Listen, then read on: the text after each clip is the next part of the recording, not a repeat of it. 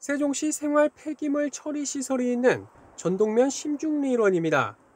세종시는 올해 초 신규 폐기물 처리 시설, 일명 친환경 종합타운 건립을 위한 입지 공모 절차를 거쳐 이곳 일대를 1순위 후보지로 정했습니다. 하지만 보시는 것처럼 인근 주민들의 강한 반발에 부딪히면서 후보지 선정을 원점에서 재검토해야 하는 상황이 됐습니다. 사업에 사전 동의를 했던 후보지 반경 300m 안에 살고 있는 주민이 주민들의 극심한 반대에 부담을 느껴 최근 동의를 철회한 것이 결정적이었습니다.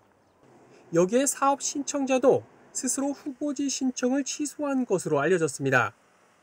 입지 선정위원회 구성을 준비 중이던 세종시는 매우 난감해졌습니다. 반년 넘게 진행돼 온 후보지 선정이 무의에 그치면서 당초 목표로 했던 2024년 완공은 사실상 어려워진 상황.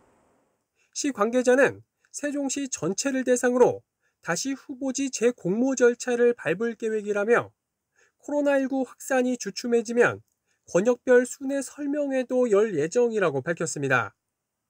그러나 일부에선 폐기물 처리장 건설 계획에 전면 재검토를 주장하는 목소리가 나옵니다. 단순 대형 폐기물 처리장을 짓기보단 배출 억제 정책 등이 폐기물 처리 계획에 반영돼야 한다는 이유에서입니다. 광역 폐기물이 다 이쪽으로 올 수 있도록 하는 그러한 정책을 시가 이변하는 것 자체가 문제라고 보고 어쨌든 이 폐기물을 최소화시킬 수 있고 기존의 폐기물 처리장을 활용할 수 있는 방안으로 필요하다면 아주 최소 규모로 설립하는 것이 마땅하다 이렇게 봅니다.